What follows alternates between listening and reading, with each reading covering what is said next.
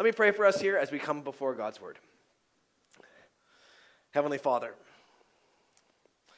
thank you so much that uh, you are who you are. You created us in your image. You created us to enjoy who you are.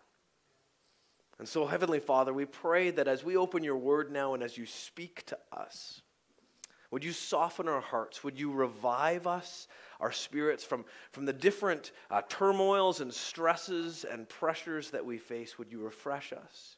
But you, would, would you also restore us in our identities?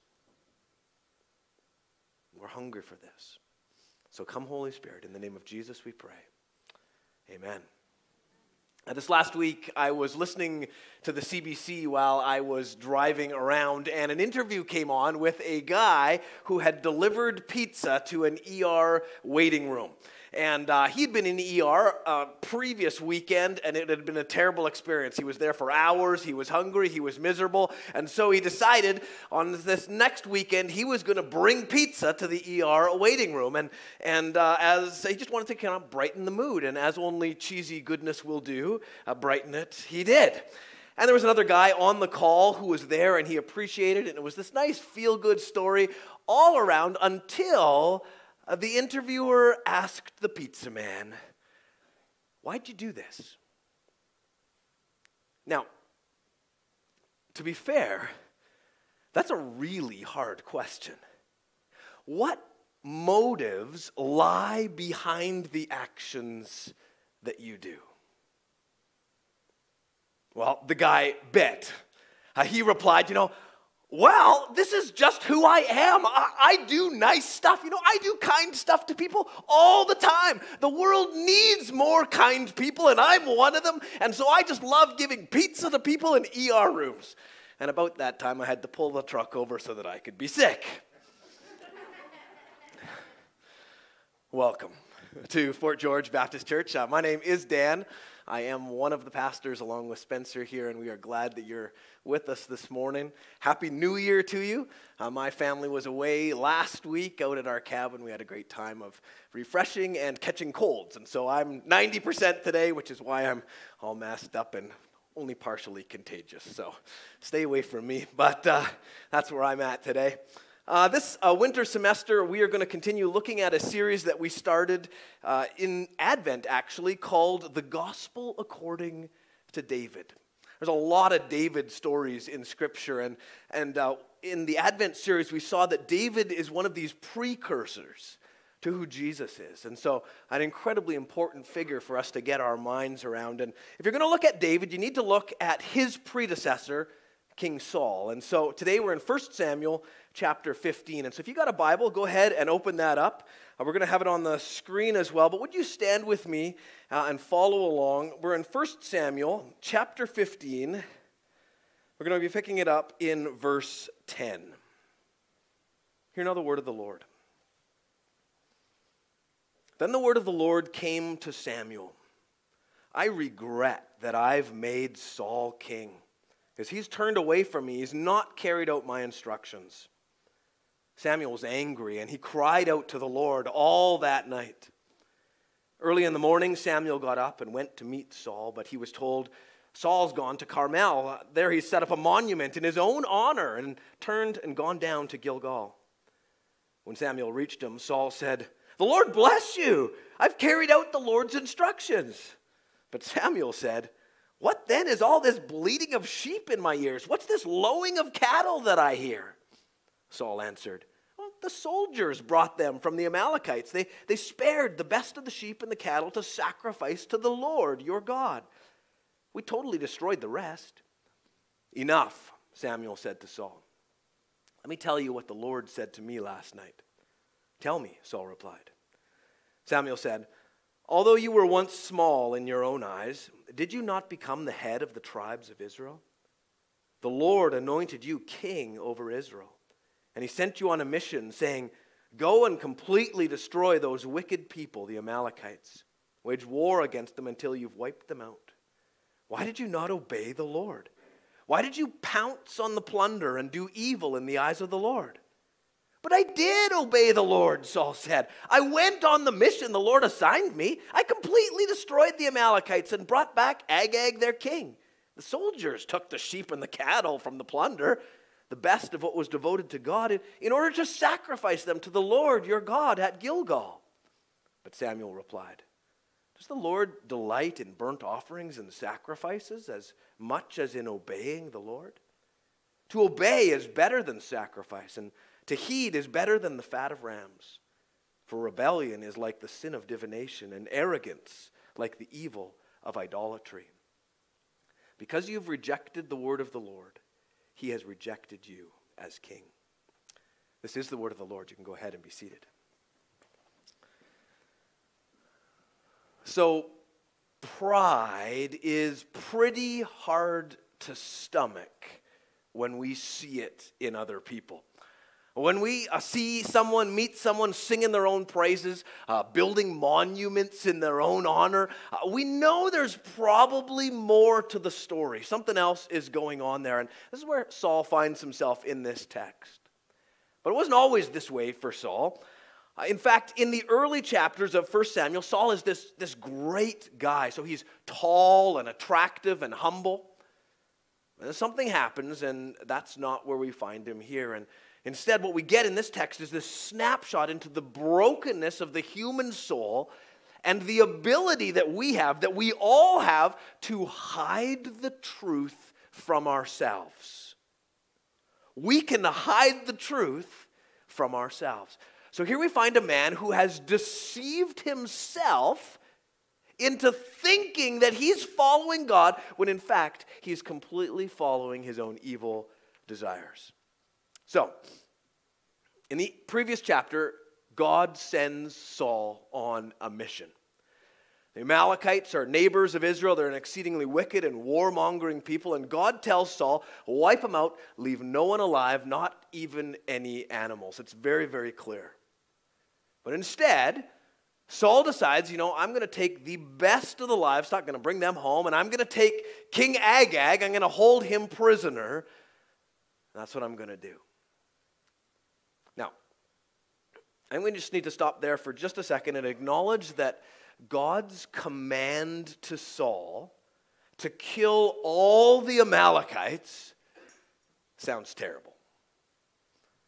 And uh, we live in a particular time where we are particularly sensitive to this kind of thing. Our culture determines that if someone has done something that doesn't measure up to our standard of the way things are supposed to be, uh, you know, we, we cancel them. When uh, we don't want to hear from them anymore. But this is actually something called ethnocentric judgmentalism. Ethnocentric judgmentalism. It's actually not a new idea. Cancel culture is a new idea, but ethnocentric judgmentalism is, is quite old. But it's this idea that our culture is the best culture.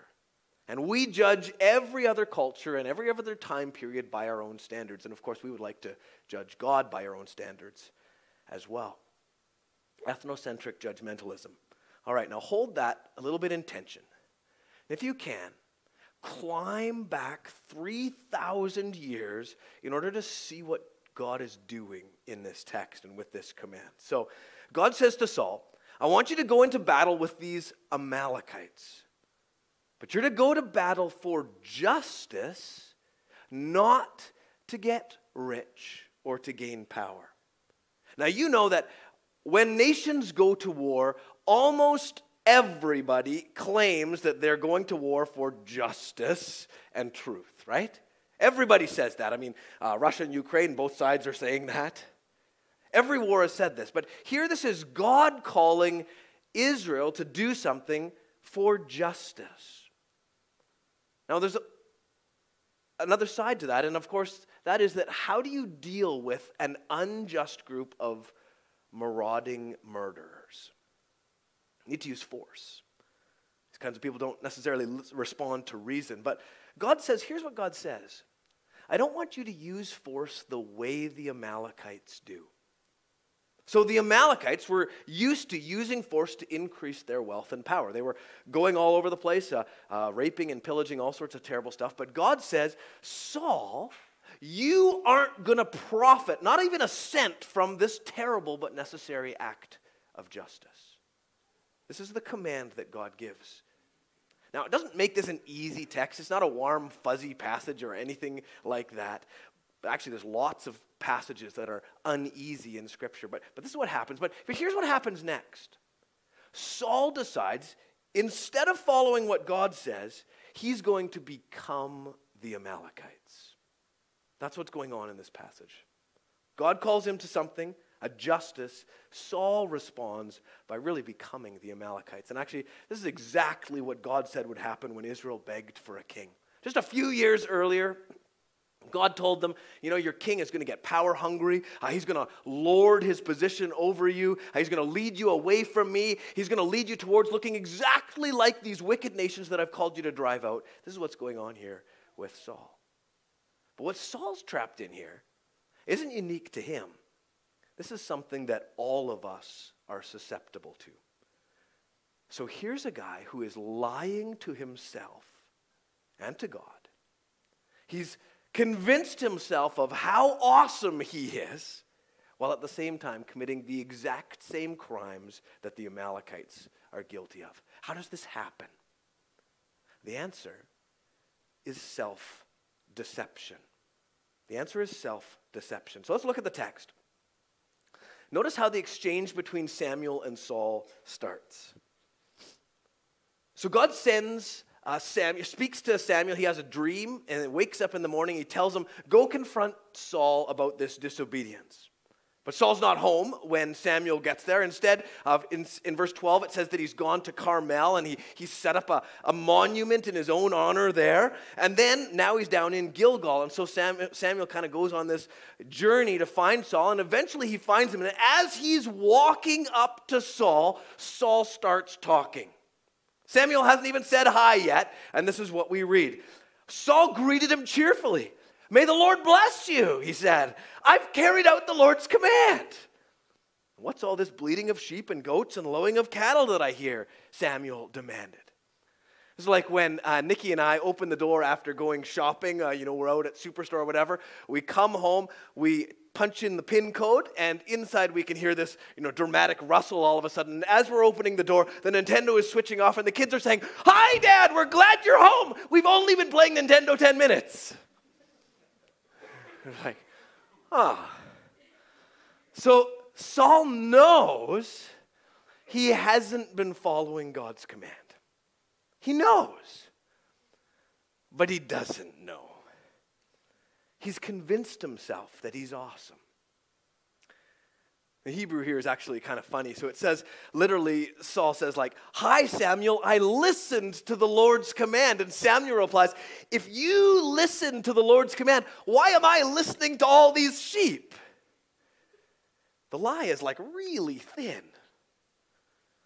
But here's the thing with self deception no one else has to be tricked by it. But we are remarkably gullible when it comes to our own lies. We're remarkably gullible when it comes to our own lives. From time to time, I talk to couples who are getting divorced. It's way less fun than talking to couples that are getting married. Right? With couples that are getting married, it's all, you know, oh, she's so awesome. He's so amazing, right? It's all like that. With couples that are getting divorced, it's, oh, I'm so awesome. And somehow, by celestial error, I'm ended up married to Hitler. And they both say this. And they don't think they're lying. You look in their eyes. They believe they're true, but for everybody else around, you can see that it's not the whole story. Just as an aside, if the thought of building a great marriage is more appealing than lying to yourself in my office, let's go to the marriage retreat at Ness Lake, okay? Deal? All right, it's worth the money. All right, here's the point every action has a motivation that lies behind it. Every action has a motivation that lies behind it. And while our actions, our outward actions, are easy to see, our motives can be elusive. even to ourselves. But every action, good and bad, has a motive. And so nobody just delivers pizza to random people because they're nice. We all know that. And this is why when somebody's bragging about how good they are, it can make us sick. But here's the thing it's not wrong that our good actions have motivations behind them. Not wrong that our good actions are motivated by something. In fact, Jesus wants us to do good things motivated by a desire for reward. He wants us to seek reward. For example, Luke 12, Jesus says this Sell your possessions and give to those in need. That's a good action. Why, Jesus? Why would we ever do that? Jesus says this This will store up treasure for you in heaven. And your treasure will be safe. No thief can steal it, no moth can destroy it. Wherever your treasure is, there the desire of your heart will also be. So Jesus says, Seek my kingdom. Seek my reward. Don't try to be altruistic. Don't, don't trick yourself into thinking you're just a good person. Nobody's good but God alone. So be, become aware of what your motivation is. Shift your motives from seeking earthly rewards, things that aren't going to last. These things that are going to get eaten by moths and, and stolen. Instead, seek the reward that God wants you to have, something that's going to last forever. Friends, Jesus wants you to get what's actually best for you. Jesus wants that for you. He wants the best for you. And He wants you to be motivated by His love of you to get what's best for you. He wants what's best for you. Okay. That's not actually where the text is going. What we're talking about in this text is what motivates the bad stuff that we do. So, why does Saul take home the sheep? Why does he make the Amorite king into a pet? What lurks behind our decisions the, the thing, to, to do things that we know are wrong? Right? Hello? Some people do some things that they know are wrong. Okay, what lurks behind our decision to do what we know is wrong while at the same time convincing ourselves that we're good? Anybody sees himself in that? It's really quiet in here this morning. Yeah. Happy New Year! Tim Keller says self deception isn't the most terrible thing we do, but it's the reason we do the most terrible things.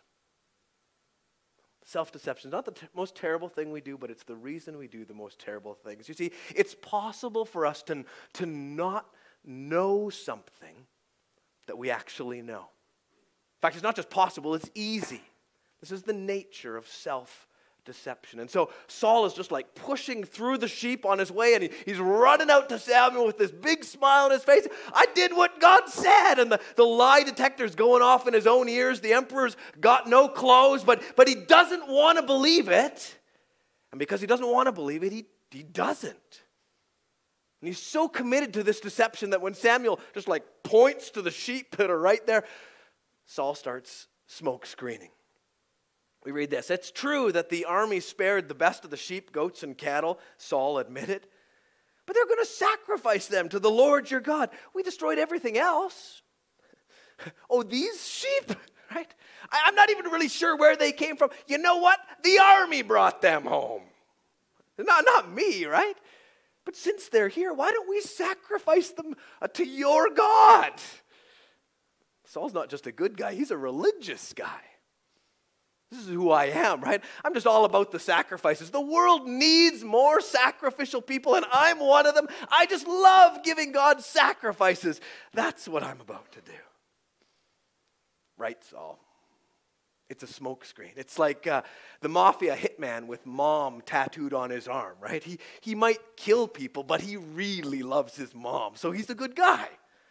At least he thinks so. Where does this come from? Why do we lie to ourselves about stuff we don't want to be true? Why do we shift the blame and say, everybody else's fault, but not my fault?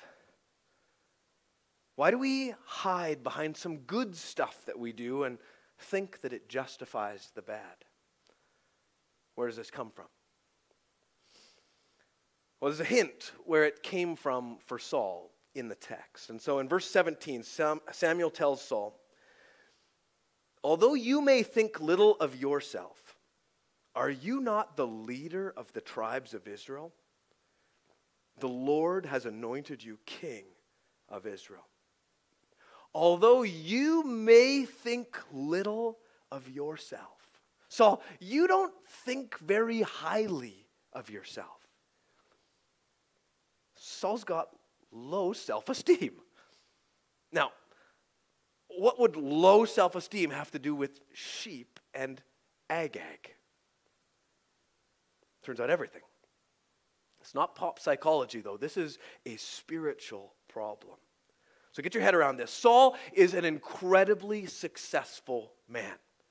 If he's in a room with us, we're impressed, right? He's risen from total obscurity to become the king of the nation. Uh, he's rich, he's handsome, he's powerful, but there's some brokenness in him that even this success doesn't satisfy. Way back in the beginning, when Samuel anoints King uh, Saul king, uh, Saul responds this way but am I not a Benjamite from the smallest tribe of Israel? Is not my clan the least of the clans of the tribe of Benjamin? Why do you say such a thing to me?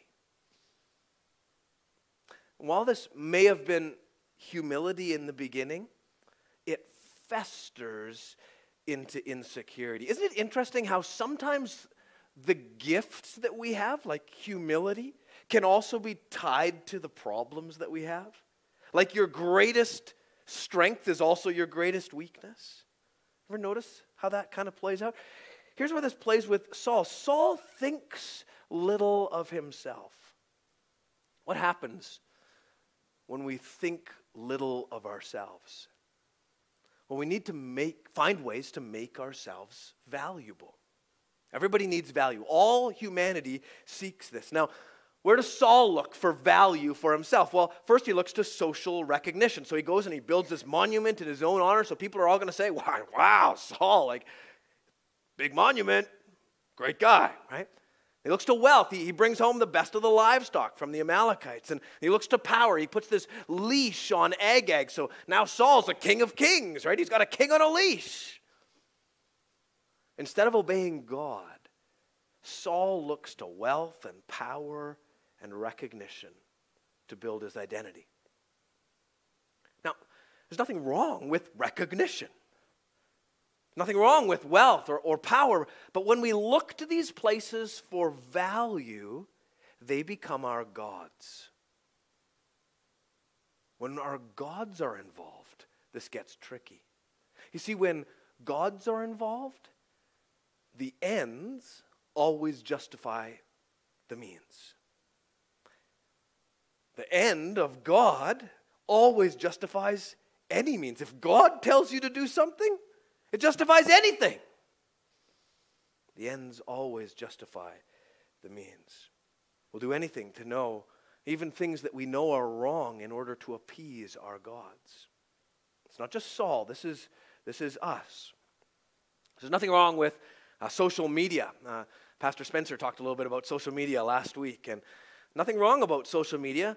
But when we post uh, pictures, say, of our, you know, our awesome vacation, we're seeking likes. I mean, there's something about that when, you know, a whole bunch of people give you that thumbs up. It feels really good, right? There's, there's a social recognition there. And there's nothing wrong to recognition, but when we look there for our value, that's where the problem starts. And oh, this is a gray and fuzzy line. When we look there for value, it becomes an idol. It's our God. And gods demand our worship. And that's why, if this has become your God, this is what will happen. You'll find yourself spending endless hours posting presentations of yourself that make yourself look better than you actually are. Nobody has that good a time, right? Smile out to here in Hawaii every weekend. Nobody looks that good all the time. It's lies, it's deception. Doing something we know is wrong because the ends justify the means. The social recognition is your God. What about money? Nothing wrong with money, but when we look to money to give you value, when we do this, what happens is we start cutting corners and bending rules to get more of it because it's our God.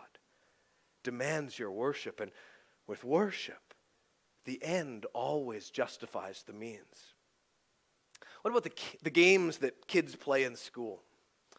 So, two girls will decide who they aren't going to talk to in order to make themselves the queens of the class. Remember that? It's a pursuit of power. Power will make them valuable. Saul's is a 3,000 year old story that could have been written today. Isn't it amazing how Scripture works like that? People have been seeking value and looking to get it from the gods of money and power and recognition forever. And here's the thing all gods promise value if we seek them, but the gods lie. You know, there simply is no amount of recognition that will give you the value that you seek. Movie stars kill themselves. There's no amount of money, there's no position high enough, not prime minister, not king, that's going to satisfy this vacuum for value in your heart. But there is one God who says that you're valuable because you were created in his image. It's the only fountain deep enough to satisfy your thirst. Only when we find our value in who God says we are will we actually have a correct view of ourselves. Only when we take as true what God says about us can we avoid self deception. Here's another way of thinking of this Saul has a lower view of himself than God has of him. Right? God chose Saul. God thinks of Saul as a king. He anoints him. But Saul disagrees. He thinks little of himself. But when we disagree with God about who we are, one of us is wrong. Happens actually all over Scripture. This is a very common theme. So God calls us to become who He intends us to be, and we can't see it. Take Moses as an example. There's lots of examples. Moses is one. He's at the burning bush. God tells him, I got some children, right? They're stuck in slavery. I've chosen you to be the champion. Moses says, You got the wrong guy, right? Like, I've got no credentials. I've been out here herding sheep for 40 years. I murdered a guy. You didn't notice that? I got no credentials whatsoever. I can't even talk good. If you think I'm the guy, you must be really low on options. Moses and God have different ideas about who Moses is. Guess what? One of them is wrong. And if you read the story, you find out it's Moses, right? Spoiler alert, I hope that didn't wreck it for anybody. It's Moses. Moses turns out to be a great leader of the people of Israel. It's almost like God had a better idea of who Moses was than Moses did guess what? God has a better grasp on who you are than you have on yourself. Hmm. If God has a different idea of your value than you have, one of you is wrong. And until you find your value in who God says you are, you will lie to yourself in pursuit of value with every idol that beckons. That's what happens. When we don't go to God for our value, we got to go somewhere else. That's what happens. Now, if any of this rings true for you, don't feel, uh, feel like I'm signaling you out. Uh, everybody's vulnerable to this. Let me tell you about a friend of mine who suffers from low self esteem. His friend uh, and I were quite close. I know him well. He cares way too much what people think about him, often social recognition plays more of a role in his life than God's recognition. And so he tries to master every area of his life his, his health, his finances, his family in order to prove to himself, to everybody else, that he's a valuable person. But don't worry, he talked to a counselor last Thursday and he's good now, all right? It's all good. He looks just as good as he looks this morning. Right? Why? What do we do about this? How do we shift the source of our value from idols to the God who made us and endows us with value? How do we do that? Friends, we need to see Jesus. We need to see him and we need to see how he sees us. Let me tell you about who Jesus chooses. Everyone Jesus chooses is someone who has value to Jesus. That makes sense? Do you believe that?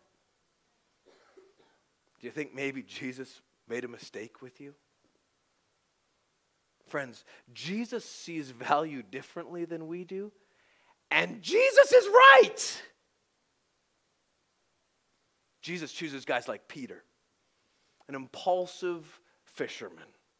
Speaks first, thinks later. I like him. But Jesus thinks he's got value. Jesus wants Peter on his team. Jesus wants you. It's not an accident that you're here. It's not an accident that your heart responds to Jesus' call. He wants you, He's calling you to Himself. And Jesus doesn't want us because of some skill or ability that we're going to bring to the table. He's not looking to bolster his strength with our assets. He wants us on his team for his glory and for our good. He designed the world actually in such a way that these things work together. Here's how. We've talked about this before, but before time existed, God existed in perfect community with Himself Father, Son, and Spirit. He was not lonely, He was not bored, He was perfectly happy forever. And out of this happiness, He decides to create. And He creates to increase His glory. But how? How can an infinitely glorious being increase His glory? The only way is to invite other beings into his presence to share in his joy, the joy that he has with himself. And when we see him and, and enjoy him and center our lives around him and his glory, his glory gets increased. So, gl- glory is the acknowledgement of greatness. And so, Jesus is looking for people who realize that he's this amazing and great God who loves me. He's looking for people who realize that and then would respond by loving him in return. But there's more. God creates humanity in such a way that when we find our value in who he is, when we center ourselves around him, we're actually not swept away into nothingness. That, that's a Buddhist idea, that's not a Christian idea. Instead, we become ourselves when we center ourselves around Christ.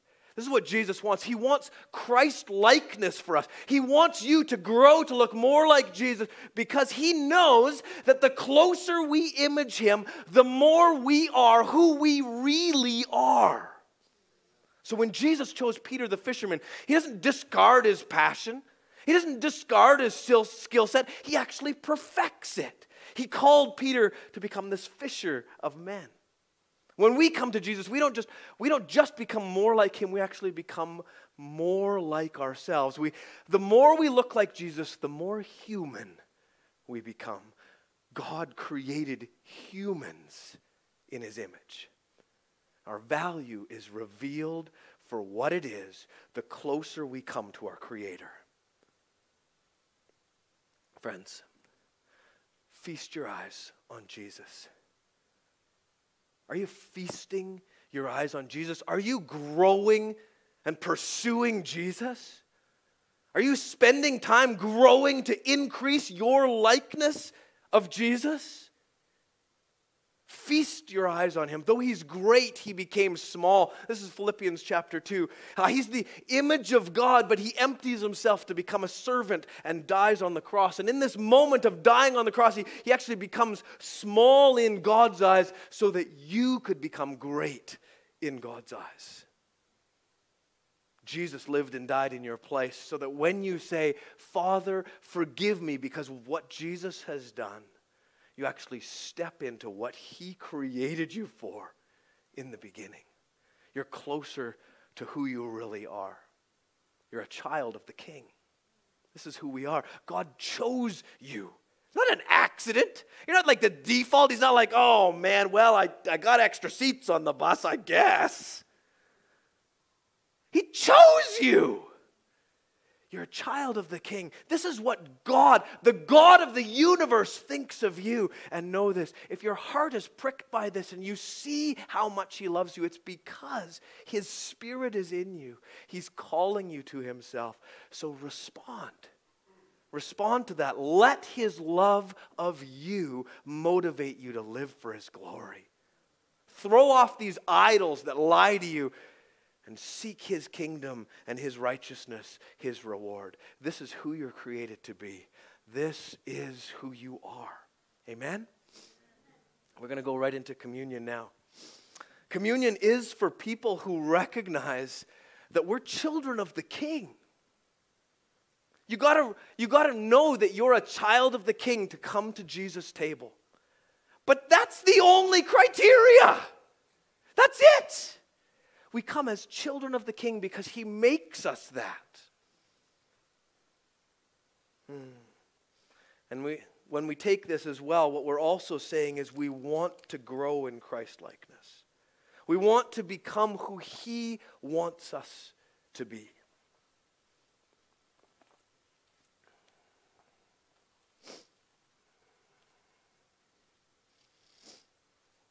For I received from the Lord what I also pass on to you. The Lord Jesus, on the night he was betrayed, took bread. And when he had given thanks, he broke it and said, This is my body, which is for you. Do this in remembrance of me. Let's participate together.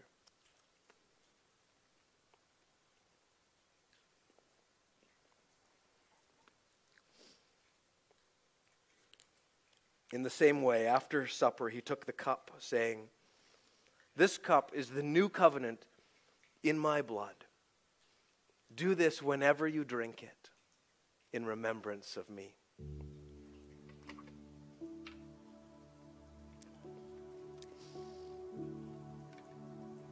Heavenly Father, you are the God of glory and happiness.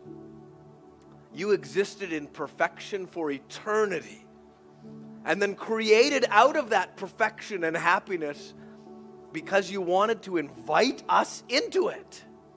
You created us with that potential, with that identity. We are beings that can enjoy the glory of God. And we broke that, sin broke that, Jesus. And so you stepped down into our place. You crossed the infinite gap that separated us because you knew that we couldn't cross it on our own. You crossed it for us to bring us back to what you created us for in the very beginning. You love us. You think we're valuable. You like us. You like me. Jesus. You're worthy of our worship. You're worthy of us finding our value in you. Help us. We live in a land saturated with idols. Everything cries out for our attention and worship. Everything tells us that if we get this or that, then we'll be valuable. And we buy the lie and we lie to ourselves. Thank you, Jesus, that you cut through the lies to meet us where we are, to take us to where we were created to be.